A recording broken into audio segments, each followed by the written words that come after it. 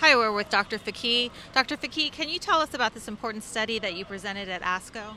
Sure. Uh, so today we presented the results of a first in human study of a small molecule. It's an oral pill called AMG 510, and it's specifically designed to target a mutation in the tumor that drives cancer growth. The mutation is called KRAS G12C. This is a mutation that is present in approximately 13% of patients with lung cancer, approximately 3% of patients with colon cancer, and maybe 1 or 2% of patients with other cancers. And what were the results of your study? The majority of patients uh, that we reported upon today who enrolled in the study were patients with lung cancer and colorectal cancer. We only had two patients with appendiceal cancer. So what we know is that we have a definite clear signal in patients with lung cancer. We're seeing very robust responses.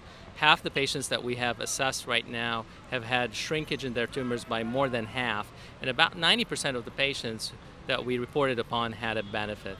Again, in colon cancer, we have seen approximately three quarters of patients having stable disease with this uh, treatment, which is quite impressive. This is disease control in patients who have progressed on all standard therapies, and they're doing quite well with this, with this treatment. It sounds like a remarkable breakthrough. What are the implications for treatment going forward?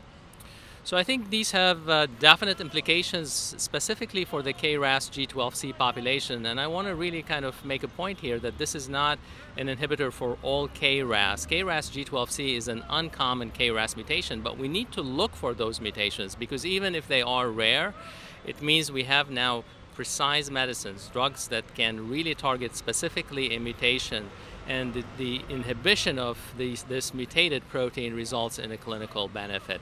I think this study is going to continue for the time being, enroll more patients at our center and other centers, and hopefully move on to larger studies so that we can get this drug on the market for patients who benefit from it.